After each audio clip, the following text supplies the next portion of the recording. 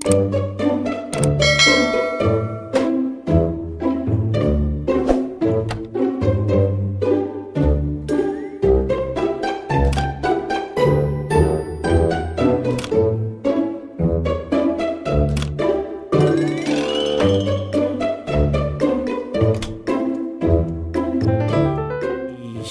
Inilah mak seorang boleh jaga sepuluh anak.